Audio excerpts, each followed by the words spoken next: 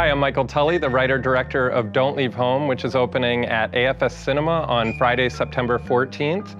I and the film star, Anna Margaret Hollyman, will be here for the Friday and Saturday night screenings to intro and give a Q&A and speak to you guys about the movie.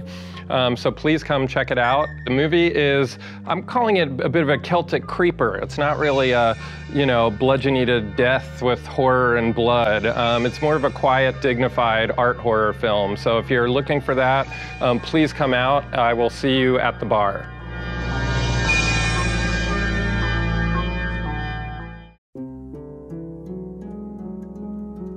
Hello?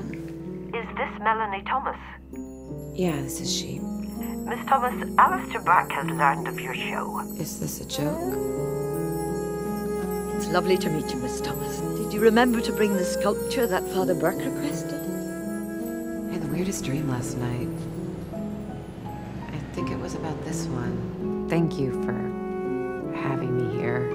Really couldn't have come at a better time. You might hear some strange things during your stay. Don't pay any attention to it. Contrary to public opinion, Ireland is not overflowing with ghosts and spirits.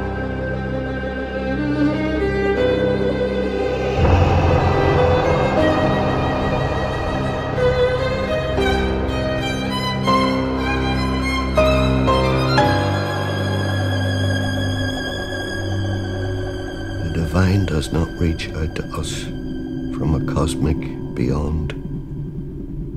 It breathes from within